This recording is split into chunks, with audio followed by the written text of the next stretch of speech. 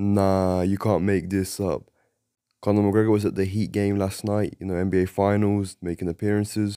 A clip went viral of him, you know, hitting the mascot, you know, for show, for the fans at halftime. But actually turns out that the mascot got really hurt.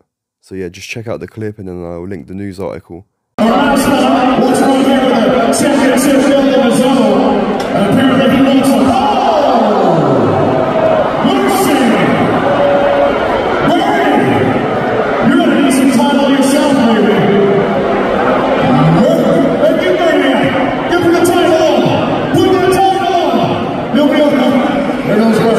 So mid game, the mascot actually had to go to the ER and he faced some serious issues. You can't make this up, man. Conor McGregor, whatever he does, it just causes chaos, bro. Look at that.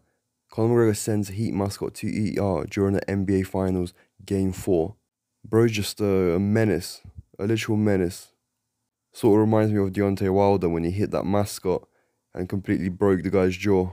But yeah, Conor McGregor back at it again.